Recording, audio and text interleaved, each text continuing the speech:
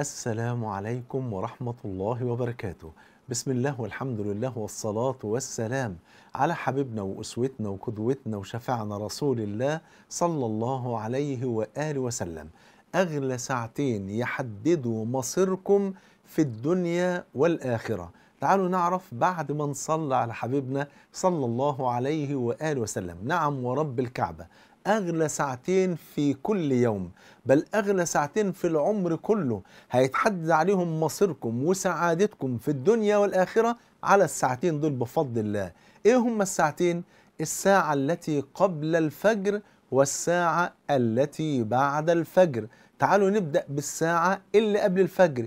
دي الساعة حبايبي التي ينزل فيها ربنا عز وجل إلى السماء الدنيا كل ليلة نزولا يليق بجلاله وكماله. قال سيد ولد آدم صلى الله عليه وآله وسلم كما عند مسلم ينزل ربنا عز وجل إلى السماء الدنيا كل ليلة. فينادي ويقول أنا الملك أنا الملك. من ذا الذي يدعوني فأستجيب له. من ذا الذي يسألني فأعطيه. من ذا الذي يستغفرني فأغفر له. ويكرر تلك الأسئلة إلى أن يطلع الصبح. ما شاء الله. في هذه الساعة يتحدد مصير حياتكم كلها بالدعاء المستجاب. بل ويتحدد كمان ويتغير مصيركم في الآخرة. بدخول الجنة اللي ربنا وصف أهلها بقوله سبحانه وتعالى كانوا قليلا من الليل ما يهجعون وبالأسحار هم يستغفرون. ما كانوش بيناموا كتير.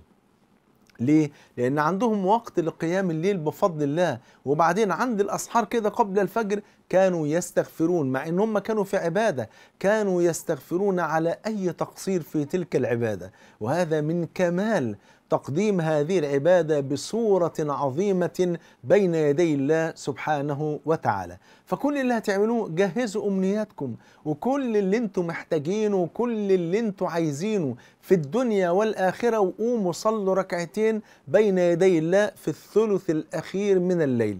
ويا حبذا لو كانوا الركعتين دولت بمئة آية مش كتير يا شيخ محمود أبدا ورب الكعبة. وأنا هوصف لحضراتكم وصفة بسيطة ليس على سبيل التحديد ولكن على سبيل التيسير. ورد في الحديث الذي رواه أبو داود بسند صحيح أن النبي صلى الله عليه وآله وسلم قال من قام بعشر آيات لم يكتب من الغافلين ومن قام بمائة آية كتب من القانتين. يعني يكتب لكم عبادة ليلة كاملة. ومن قام بألف آية كتب من المقنطرين يعني من أصحاب القناطير المقنطرة من الحسنات بفضل الله. طب المئة آية نجيبهم إزاي؟ بكل بساطة سورة الواقعة نقسمها على ركعتين مع الفاتحة بقوا 100 آية ويعدوا ال 100 آية كمان. طيب نجيب الألف آية لو حبينا بقى نجيبها إزاي؟ جزء عامة مع جزء تبارك مع الفاتحة يعدوا ألف آية بفضل الله. نقدر نقسمهم على 8 ركعات بفضل الله سبحانه وتعالى. وهذا ليس على سبيل التحديد ولكن على سبيل التيسير بفضل الله سبحانه وتعالى. يبقى نصلي قيام الليل ب آية مش هيستغرقوا ربع ساعة. بفضل الله الله أكبر قرأنا الفاتحة بعدها قرأنا نص سورة الواقعة وركعنا وسجدنا وخلصنا طلعنا الركعة الثانية الفاتحة والنص الثاني من سورة الواقعة. أو ناخد أول أربع صفحات من جزء عامة آيات قصيرة وكثيرة. في الأربع ركع في الأربع صفحات دولت عدينا المئة آية بفضل الله سبحانه وتعالى. فيتكتب لكم قيام ليلة كاملة لو صليتم بمئة آية بفضل الله سبحانه وتعالى. هذه الساعة اللي هي قبل الفجر والله العظيم. الساعة دي تستحق إن حضراتكم تغيروا نظام حياتكم كلها علشان تقدروا كل ليلة تقفوا بين يدي الله وتجهزوا كل أمنياتكم وتسألوا الله عز وجل من خير الدنيا والآخرة. ولذلك سبحان الله سبحان من جعل المؤذن يقول كل يوم ويذكركم كل ليلة ويوقظكم من غفلتكم من أجل أن تصلوا ويقول الصلاة خير من النوم. نعم ورب الكعبة.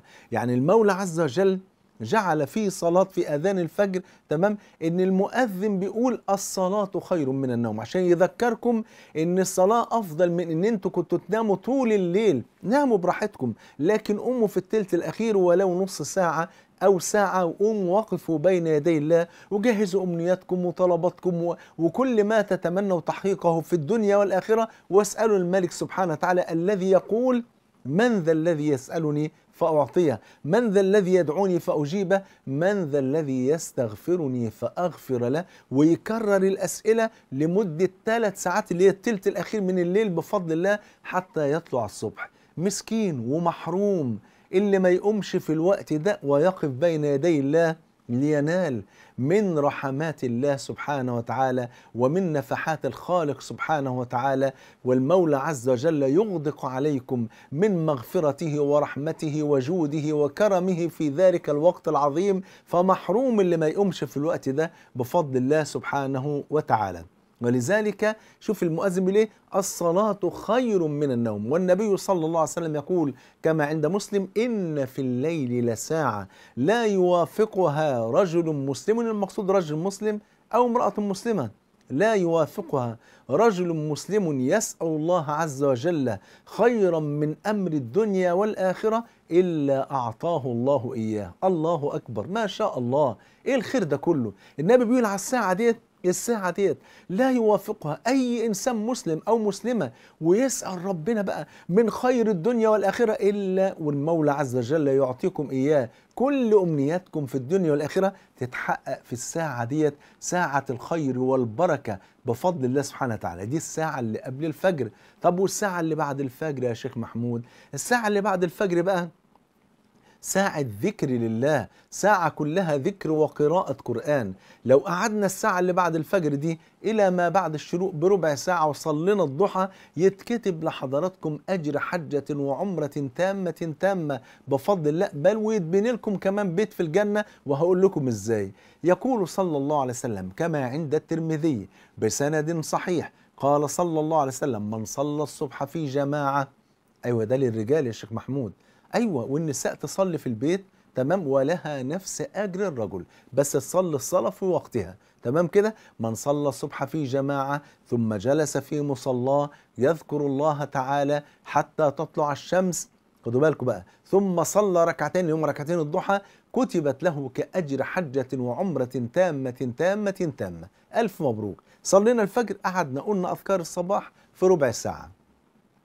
ومسكنا المصحف قرأنا جزء أو جزئين لحد بعد الشروق بربع ساعة نقوم نصلي ركعتين الضحى يا ريت كمان بقى إيه نزودهم كمان ركعتين نخليهم أربعة. ليه بقى؟ عشان البيت الجنة.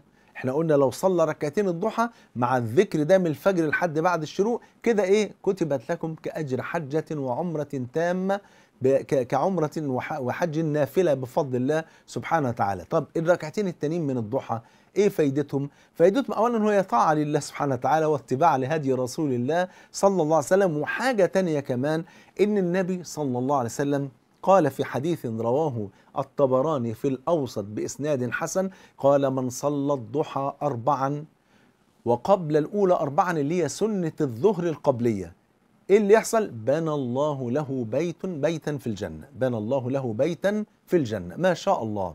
هنصلي الضحى أربعة ركعتين ونسلم وركعتين ونسلم. لما نيجي عند الظهر بقى هنصلي ده إحنا طبعا مش هنقعد لحد الظهر. أنا بقول لما يجي وقت الظهر يعني هنصلي قبل الظهر أربع ركعات سنة. سمعنا الأذان قمنا صلينا أربع ركعات سنة. ركعتين ونسلم ركعتين ونسلم ألف مبروك.